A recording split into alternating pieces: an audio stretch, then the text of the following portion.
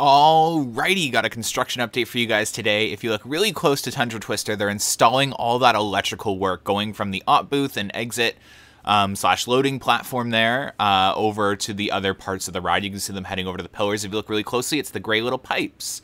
Um, also, some news is Vortex ran its first test cycle. As the Patreon saw in my update yesterday, Vortex was on the top of the lift hill and it's no longer up there. Thus, it ran its test cycle. You'll see um, Vortex, The Fly, and a bunch of flat rides and some Planet Snoopy rides doing some test runs starting tomorrow, leading up to Friday as maintenance gets the rides ready. And then they'll start actually cycling them this weekend with the crews starting their training.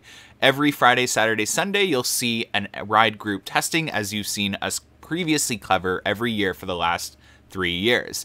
Nothing really going on with Snoopy's Racing Railway other than it looks like they're getting the foundations for the buildings um, poured now. So the launch shed and the second launch shed. Uh, it looks like they're working on that. And then they'll come in and install some more track.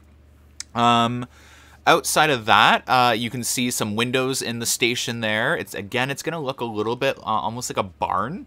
Um, and yeah, Klockwerks coming along, not much has changed there. Again, you'll see a, a, fresh coat of paint there. Same with Swings of the Century, it's gotten some refurbishment this off season.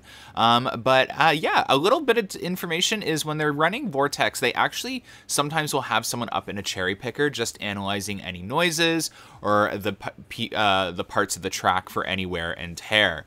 Uh, Vortex is one of those attractions that requires some extra love and care. Anyways, that's it for an update today.